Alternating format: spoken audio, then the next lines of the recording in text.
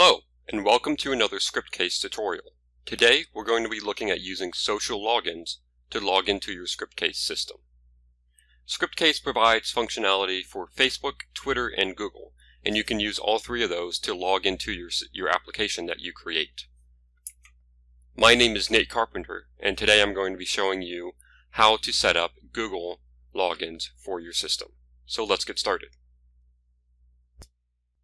The login protocol that Scriptcase uses to integrate with Google is the OAuth 2.0 protocol.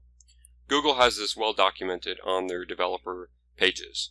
And as you can see here, it, they have a step-by-step -step, uh, method of setting it up. Scriptcase does most of this work for, for us, or as you can see, there's a lot of documentation here. And the only part we really need to worry about as Scriptcase developers is this first step in the basic steps here. So it tells us to visit the API console and set up credentials. So we're going to need this set up this client ID and client secret.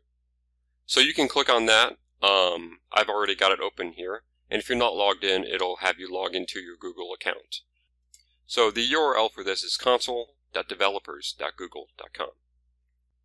As you can see, I don't have any projects set up here. So I'm going to first create a project. So go over here and click the Create button and I'm going to name my project SC auth test. And I don't need to add it to an organization right now, so I'm just going to click create. Click create, and we'll wait a little bit for it to be created here. Okay, and it looks like it's created, and it's loading the project here.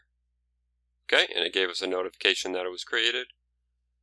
Okay, so now we need to set up the credentials um, for accessing this project, accessing this API. So we're going to go over here on the left menu and click Credentials. And then Create Credentials. We're going to select that drop down and we want to use the OAuth Client ID. That is the authentication method that Scriptcase supports with Google. So click that. And it first wants us to configure an OAuth uh, consent screen. So this is the little screen that um, is going to allow your users to say, yes, I want to give your application access to my Google account. So we just need to configure a basic one right now. Um, for your uses, you can set up more um, settings and you can configure it more specific to your application. But right now, we're just going to call this Scriptcase.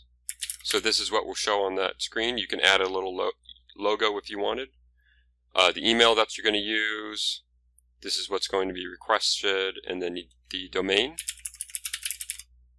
So I'm just going to add my domain.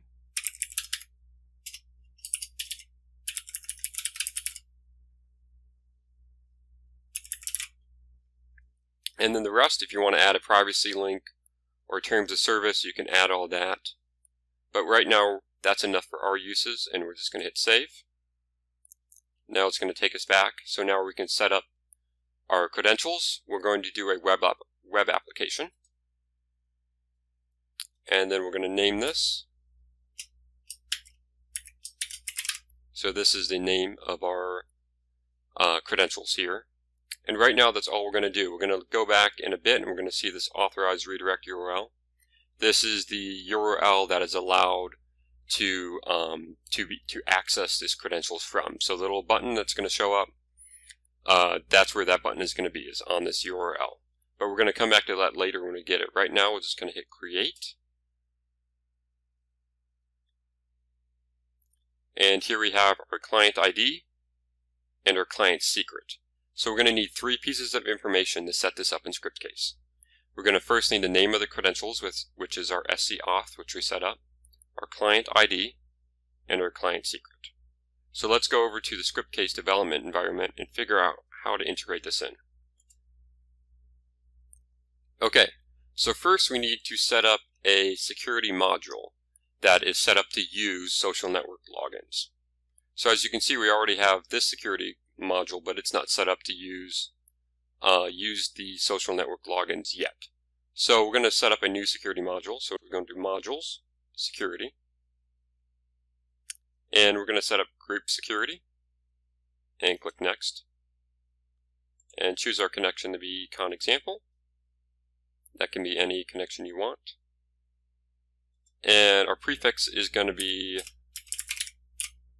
security social. Since we already have a security system set up, we don't want it to conflict with the one that's already set up. And then the key part of this is we want to check this bottom option that says use social networks. That'll set it up to use social networks. And then click next. And it created all of our tables there, so we can close that.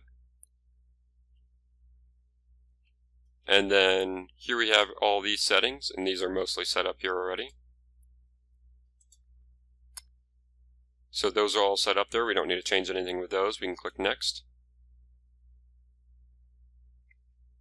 Now we need to prefix our apps for the security module. So again, we're going to add the social in there. Encryption, we're going to add MD5 just to make that. And then the folder for where those apps are going to be. We're going to add social into that. For menu, we're going to point it to our menu option here. And then there's some other settings here, but what we need to do is these social network settings. And we're going to use Google, so we check that. And here we have those three pieces of information that I just mentioned, the application name, client ID, and the secret. So the application name is SC auth, as we already saw. And then we're going to go back here to the credentials, and we are going to copy our client ID. So we can just click that button into copies, and then paste it in here. And now we need to get our secret, client secret, copy that. It's copied. Come over here, paste it in, and then we're all set up. We just need to click next. Click OK since we don't need to see anything more. Here's our credentials. We can click next on those. And then we can click next on this option and then just generate security. And we'll wait for it to generate here for a few seconds. And there we go. Now we can generate the source code for this. So as we wait for this to generate, everything beyond this first step here in the Google documentation is all being handled by Scriptcase now. So we don't need to worry about all this logic and setting all this up. Scriptcase handles it for us here. Okay, it looks like it handled, it set everything up. Now let's open our project now. And we're in our security social uh, folder that we added. And we need to go to the login page, so app social login. And I'm going to show you where it put that information here on the login. If you go to authentications, if you go under Google, there's all of our information. So it already inputted all there, and it told it where it's going to go after someone logs in. So let's run this and see what it looks like. So we're going to click Run, wait for it to load. Okay, so put a little button down here for Google. We can click that button. So it's giving us an error because we didn't add that final URL that is the URLs that are allowed to access this Google applications uh, credentials with. So now we're going to go add that. So let's click back. And we want to allow this URL here. So we're going to copy this URL. Going to select here. So this is the part we need. We don't need the, the uh, variables, the get variables here at the end, just the URL. Go back to our developer console. And we've got our credentials open up here. And under this authorized redirect URLs, we're just going to paste our URL for our login page, hit enter, and it will save it. And then click save, and let's see if it works now. So we can go back to our login page, click our Google login option. It's going to redirect us. And here we have my already set up Google accounts. Click on the one I want. And now I am logged into my security system. So we don't see a lot of options showing up because it just added a user in the default group, which has limited options. But if you want to see how it does it, you can go into the login application again and go to programming and PHP methods. And the go return, as we saw up here in authentications, I'll show that to you again. this is the return method. So this is what happens when it authenticates to Google and it comes back. It goes to this go return method here.